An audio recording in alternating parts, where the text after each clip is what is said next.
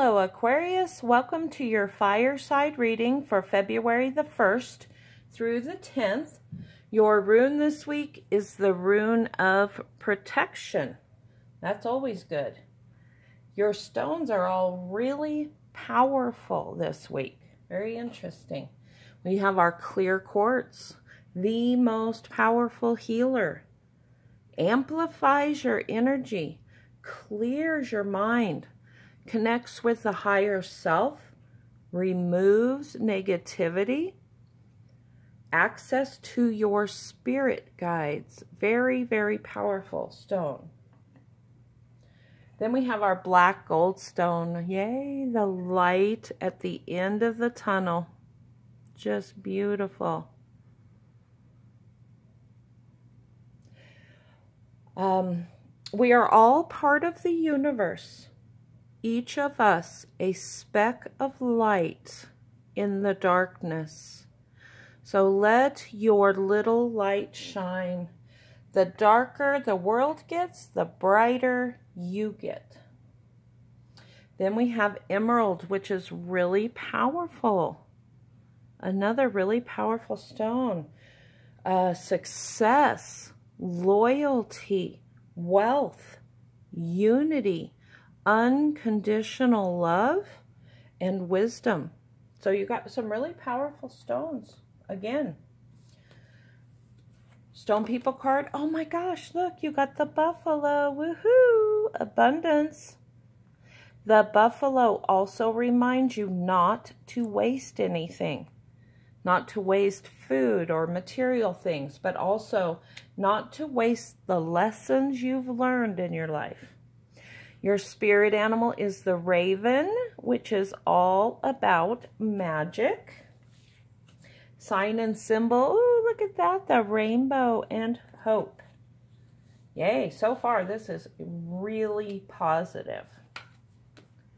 Ah, you got the field of plenty, ideas and needs manifested. Wow, plus you got the buffalo. Those are two cards of abundance. We have, Sister Moon says, emotions are running high. Now that can be equally positive or negative. You can be just on top of the world.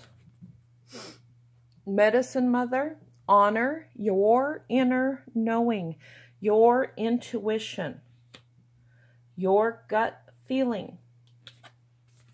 Uh, and Squirrel Spirit says, believe in yourself. Then, ooh, we have Counting Coup, the victory card. Awesome. Nothing yet is set in stone. You can change things. You can move somewhere else, get a different job, meet someone. Um, nothing is set in stone. We oh, we have the Magic Guardian. Unlock the magic within. And remember, your spirit animal is all about magic. But you have to unlock the magic. You have to recognize it and believe in it. We have koi fish spirit. There is always enough. Another card of abundance. So you got three. We have fire medicine, passion, and spontaneity. Nice. Light that fire. Sister Moon says to surrender to the divine. There is a plan. Ah, the stag says to trust and thrive. Yes, trust in the plan. Ah, and Sandpiper Spirit, be playful. Yes. It's okay to have some fun. Okay, so we're going to put our rune of protection. Let's see here. I'm going to put that on the stag. Trust and thrive. You are being protected. Though, then we have our clear quartz. Let's put that one right on the raven with our magic. Remember, it amplifies energy. Our black gold stone, the light at the end of the tunnel. I'm going to put that one on the victory card. And then we have our emerald, which is also just as powerful. Let's put that one on our passion and spontaneity. Okay.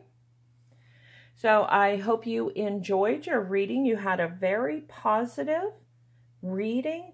Believe in that magic. It is within you. Believe in yourself. Okay? So I hope you enjoyed your reading. Peace, love, and light. Until next time.